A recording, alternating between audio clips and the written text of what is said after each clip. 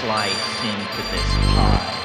I mean, I am an advocate of the psychedelic experience for